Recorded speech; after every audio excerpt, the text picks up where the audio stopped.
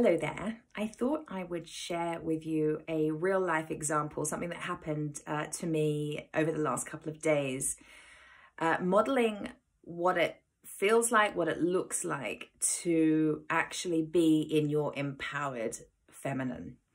And how when we are showing up in the world in a, with an empowered energy, it's a win-win for everybody involved. So I get really pissed off. This is my thing. So if you're watching this and thinking of doing this in my space, maybe think again. I get really pissed off when anybody comes into my private Facebook group, which I've been building for years, and sells their stuff. It really pisses me off. The terms and conditions of the group are very clear that it's not allowed. Um, I don't mind promoting other people's stuff. I love promoting other people's stuff when I know them, when I know their product. I love collaboration. I love supporting others. I don't believe in competition. Uh, I and I, I, I do believe in sort of healthy competition, but I think that in a way there's a there's a um I don't know. Uh, look,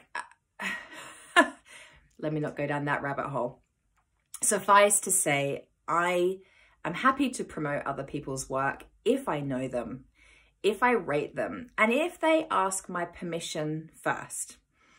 Um, so I'm seeing it more and more and more because I think there's a bunch of coaches out there teaching this model and bless those coaches who are going in to learn this model of marketing and advertising themselves and they think they're doing the right thing because someone's telling them to do it um, but I'm telling you now, I don't think it's the right thing to go into somebody else's space and start selling your stuff, particularly if you've never even introduced yourself in that space, you've never participated, you literally join the Facebook group, do not participate and just instantly start selling, instantly start putting your own videos up in their space, instantly like promoting your stuff. Like it's just not okay. It's like going to somebody else's workshop. It's like someone coming to my workshop, taking the microphone out of my hand and, and presenting their own material.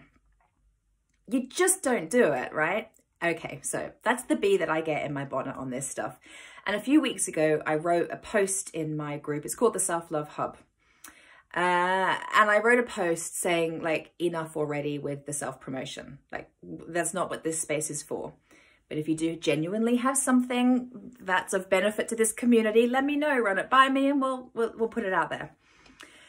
So this beautiful woman, turns out beautiful woman, right? Because we've since connected, came in and was following her coach's instructions. She joined the group and she started posting her stuff. And so I privately mess. I did what I do, which is de delete and block. That's just, there's no drama. I just delete the posts and block the person and leave it at that. And that's what I've been doing for years. Uh, but with this one, the bee was really in my bonnet. And so I private messaged her. Now, this private message came from a place of deep clarity, deep self-love, and actually love for her. Because I felt very sure that she was doing something that she'd been told to do. So it wasn't her fault. And I could tell she was, I could feel the energy of her post as well. I could tell that she was a little bit desperate and like just wanted to, she's trying to find a way to sell her stuff to get, to get her material, you know, in the eyes of other people, of her ideal clients. I get it. I, I do understand. And so I wrote this post. It was very empowered because I I'd felt into it. I'd considered what I was going to stay, say. I wasn't being a bitch. I wasn't being a victim. There was no drama. It was just, it's not okay to come into my space and sell your stuff. Now, she was clearly an empowered woman too. Because the way she responded to my email, she sat on it for a bit and she felt terrible.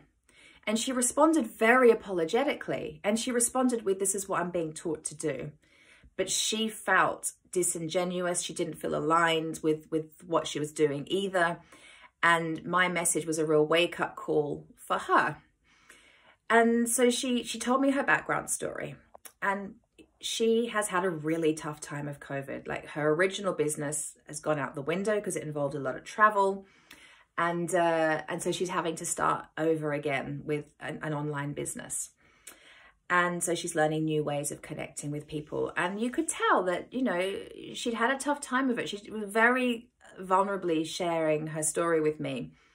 And uh, and through her share, I went back as well in a, with another level of like uh, loving energy, uh, of just like wanting to help her and, and and relating to her. I understood her.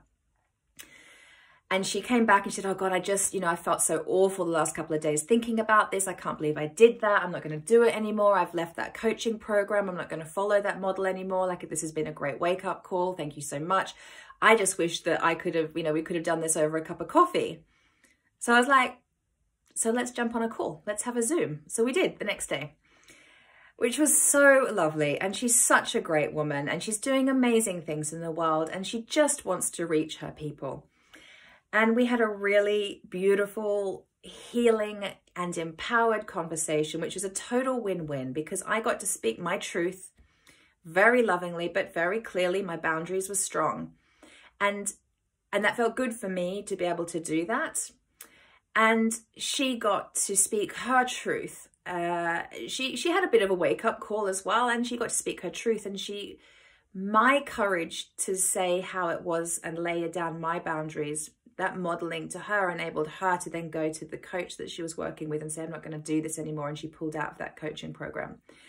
Um, and and she felt really good about it. And she realized that through this interaction that she and I had, the importance of connecting with your empowered self, connecting with the truth of who you are, feeling deeply aligned and on purpose, and then going out as a businesswoman then going out and selling your wares, promoting yourself, connecting with people in a way that felt really aligned for her.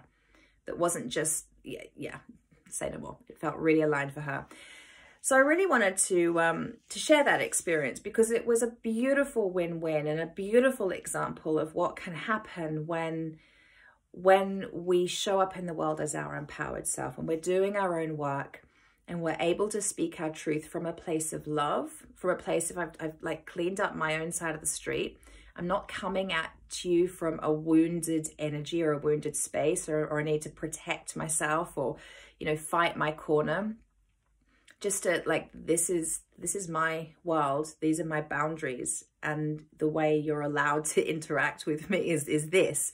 Um, and, uh, she's great. And I have a feeling we'll be friends, you know, and, and I look forward to seeing her succeed and do really, really well with her beautiful coaching business, uh, which is so heart-centered and she's clearly, you know, really helping people in the world. Um, anyway, I just wanted to share that little interaction with you. I hope it's helpful. And if you are a, an entrepreneur, perhaps you're a coach, perhaps you're a new coach, and you're being invited to jump into lots of other people's Facebook groups and just sell your stuff, I really invite you to think twice before doing that. I really invite you to get involved in their community first. Be a part of the community. Just get involved, share your wisdom, share your knowledge, listen to people, contribute in an authentic way. Build your relationship with the owner of the group, with the people in the group. Do that because that's what humans do, right? We, we get to know each other first. And then if you want to promote yourself, maybe privately message the owner of the group and ask their permission or ask if there's a way that you can serve their community with what you have. It's, it's a very different energy. okay. Enough said. Have a beautiful Friday.